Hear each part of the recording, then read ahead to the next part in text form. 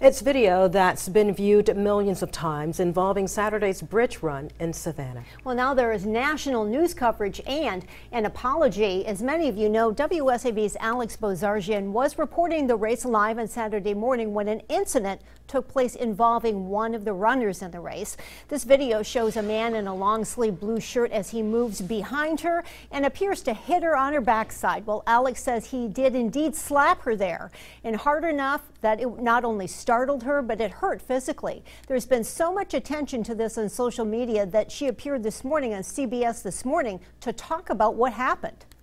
But it was extremely vulnerable, um, you know, and I think I, I, would say that the reason why, you know, maybe it caught so much fire is because um, the emotion is extremely relatable for women all over the world. You say that slap actually stung. Yeah, yeah. Um, it, it, it, was a heavy impact. It seemed very deliberate, too. When you're watching it, right, it seemed right. very deliberate. But he separates himself from the runners, and yeah. he kind of winds up, and, um, you know, he, he hit me hard. Well, that runner is Thomas Callaway, and we did hear from him today. He says this should never have happened, and he says he apologizes. I'm thankful for this opportunity uh, to, to share my apology to her and to her family and to her friends and her coworkers.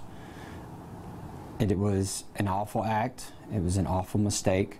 I am not that person that, that people are portraying me as. I make mistakes. I'm not perfect, and I'm asking for forgiveness and, and to accept my apology.